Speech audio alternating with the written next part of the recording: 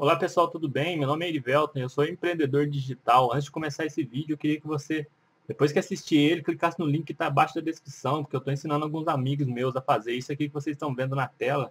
Eles estão começando a ganhar muito dinheiro pela internet. Se você tiver interesse em saber como que faz isso, basta clicar embaixo aí que você vai ter todas as informações para começar, beleza? Valeu!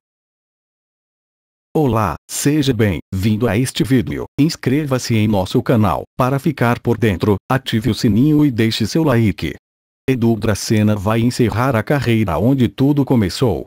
Após confirmar a aposentadoria ao final desta temporada, Edu Dracena pode se despedir do futebol onde começou sua carreira.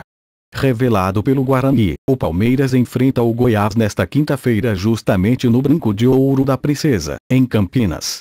Com o Allianz Parque entregue a parceiros comerciais e o Pacaembu vetado por conta do gramado em péssimas condições, o Palmeiras precisou mandar o duelo com o Esmeraldino, marcado para esta quinta-feira, às 19h15, de Brasília, longe da capital paulista, e viu o estádio em Campinas como alternativa para a partida contra o Esmeraldino, Vitor Hugo, que passará por uma cirurgia na região da virilha, e Gustavo Gomes, com uma lesão muscular na coxa esquerda, são desfalques.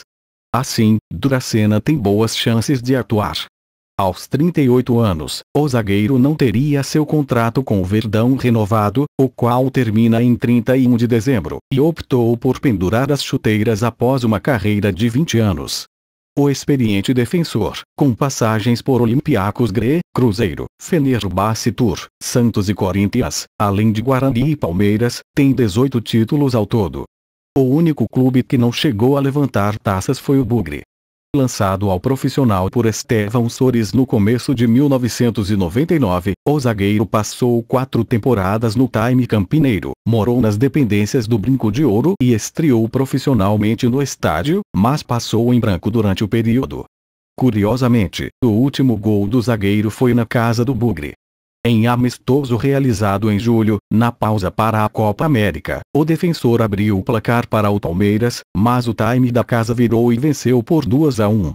No Verdão há quatro temporadas, Duracena conquistou os campeonatos brasileiros de 2016 e 2018.